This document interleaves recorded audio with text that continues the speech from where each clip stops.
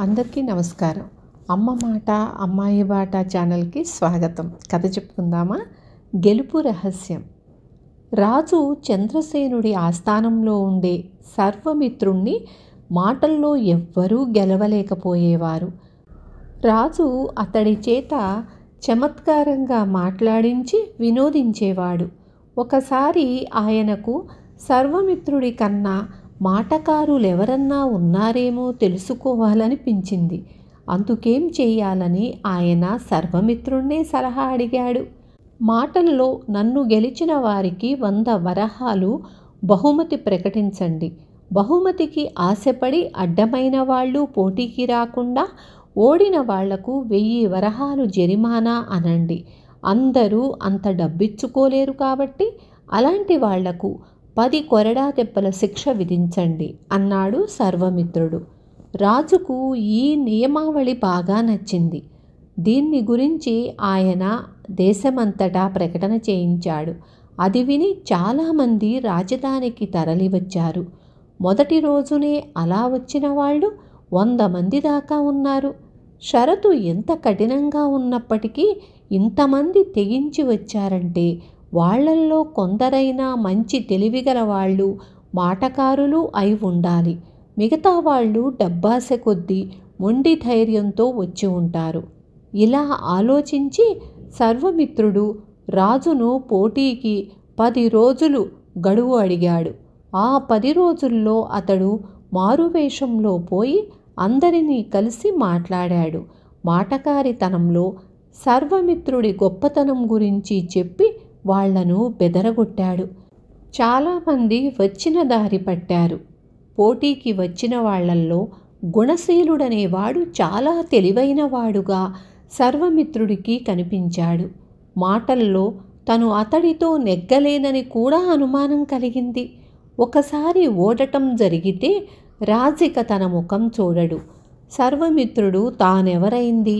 గుణశీలుడికి చెప్పి పోటీల్లో పాల్గొననని పక్షంలో రెండు వందల వరహాలిస్తానన్నాడు గుణశీలుడు పేదవాడు కావటంతో పోటీ కంటే ఇదే నయమనిపించింది.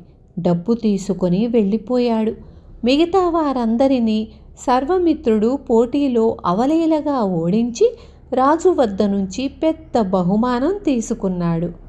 కొద్ది నెలలు గడిచాక రాజు మళ్ళీ పోటీ ఏర్పాటు చేశాడు. ఈసారి కూడా పోటీకి గుణశీలుడు వచ్చాడు. సర్వమిత్రుడు రెండు వందల వరహాలిస్తానంటే గుణశీలుడు చాలదన్నాడు. ఆఖరుకు ఐదు వందల వరహాలు తీసుకొని అతడు వెళ్ళిపోయాడు. సర్వమిత్రుడు మిగతా వారిని ఓడించి రాజు నుంచి మళ్ళీ బహుమానం పుచ్చుకున్నాడు. మూడోసారి పోటీ ఏర్పాటయ్యింది.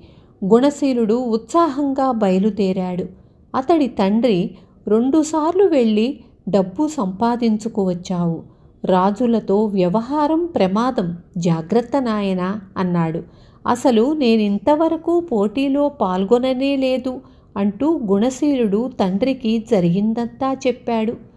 తండ్రి ఆశ్చర్యపోయి వెర్రివాడా నీకు మాటల్లో ఉన్న తెలివితేటలు లోక వ్యవహారాలలో లేదు. సర్వమిత్రుడు నీ మాటకారి తనానికి భయపడే డబ్బిస్తున్నాడు. ఈసారి నువ్వు పోటీకి రాజు దగ్గరకు తప్పకుండా వెళ్ళు. సర్వమిత్రుడిచ్చే డబ్బు అంటకు పోటీలో గెలిచి రాజు ప్రాపకం సంపాదించుకో అన్నాడు. ఈసారి సర్వమిత్రుడు గుణశీలుడికి వెయ్యి వరహాలిస్తానన్నాడు. గుణశీలుడు వద్దన్నాడు. అతడి వల్ల తనకు ప్రమాదం తప్పదని భయపడిన సర్వమిత్రుడు రాత్రికి రాత్రి తన మనుషుల ద్వారా అతన్ని బంధించి ఒక అరణ్య ప్రాంతాన వదిలిపెట్టించాడు. గుణశీలుడు అక్కడి నుంచి తిరిగి వచ్చేసరికి పోటీలు అయిపోయాయి. ఆ తర్వాత గుణశీలుడు ఎన్నో ప్రయత్నాలు చేశాడు. కానీ ఒక్కసారి కూడా సర్వమిత్రుడు అతన్ని పోటీలో పాల్గొననివ్వలేదు. నానాటికి గుణశీలుడి పంతం పెరగసాగింది. అతడు మారువేషంలో వెళ్ళినా తెలివి తక్కువగా మాట్లాడినా కూడా సర్వమిత్రుడు అతన్ని గుర్తించగలుగుతున్నాడు. అప్పటికి పోటీలు పదిసార్లు జరిగాయి. పదకొండవ పర్యాయం గుణశీలుడు వచ్చిన జాడ సర్వమిత్రుడు తెలుసుకోలేకపోయాడు. తీరా పోటీ సమయంలో అతడు పోటీదారుల మధ్య కనిపించేసరికి సర్వమిత్రుడికి గుండె దడదడ పుట్టింది. ముందుగా పోటీదారుల మధ్య వారిలో వారికి పోటీ ఏర్పడింది. గుణశీలుడు వాళ్ళతో ఒకసారి నేను కీకారణ్యంలో నడుస్తుండగా ఎదురుగా ఆరడుగుల పెద్ద పులి కనిపించింది అన్నాడు. నిజంగానా? అన్నారు పోటీదారులు అందరూ ఆశ్చర్యంగా. మీరడగవలసిన ప్రశ్న అది కాదు. ఎలా బ్రతికి బయటపడ్డావు అని. అవునా? అన్నాడు గుణశీలుడు. రాజు చిన్నగా చప్పట్లు చరిచి ఆహా అన్నాడు. అప్పుడు గుణశీలుడికి సర్వమిత్రుడికి పోటీ ప్రారంభమయ్యింది. ఎదుటి వాళ్ళకు ఏ ప్రశ్న వెయ్యాలో బాగానే చెప్పావు. అసలు నీకెలాంటి ప్రశ్న వెయ్యాలో తెలుసా? అన్నాడు సర్వమిత్రుడు. నా ప్రశ్న సంగతి తరువాత చెబుతాను. ఇప్పుడే ఒక సంగతి చెప్పి దానికేం ప్రశ్న వెయ్యాలో కూడా చెప్పాను. అదే సంగతి నీకు మరోసారి చెబితే ప్రశ్న అడగటంలో నీకేమైనా తెలివితేటలు చూపగలవా? అన్నాడు గుణశీలుడు. చెప్పి చూడు నీకే తెలుస్తుంది. అన్నాడు సర్వమిత్రుడు హేళనగా. ఒకసారి నేను కీకారణ్యంలో నడుస్తూ ఉండగా ఎదురుగా ఆరడుగుల పెద్ద పులి కనిపించింది అన్నాడు గుణశీలుడు. అప్పుడు నువ్వెలా బ్రతికి బయటపడ్డావు? అన్నాడు సర్వమిత్రుడు. అది సామాన్యమైన తెలివిగల వాళ్ళు వెయ్యాల్సిన ప్రశ్న. నీబోటివాడైతే అసలు కీకారణ్యంలోకి నువ్వెందుకు వెళ్ళావు? అని అడగాలి అవునా? అన్నాడు గుణశీలుడు. రాజు కుతూహలంగా ఈ సంభాషణ వింటున్నాడు. గుణశీలుడు చెప్పినట్లే సర్వమిత్రుడు అడిగాడు. ఎందుకేమిటి? ఈ పోటీలకు నన్ను రానివ్వకుండా ఒకడు అడ్డుపడుతున్నాడు. అందుకని ఎవరికీ తెలియని ఈ కొత్త మార్గం ఎన్నుకున్నాను అన్నాడు గుణశీలుడు. సర్వమిత్రుడికి ముచ్చమటలు పోశాయి. గుణశీలుడు తెలివిగా తన నేరాన్ని బయటపెట్టే ప్రయత్నం చేస్తున్నాడు. తను ఈ ఎత్తుకు పై ఎత్తు వెయ్యాలి. నువ్విలాంటి జవాబిస్తావని నాకు తెలుసు.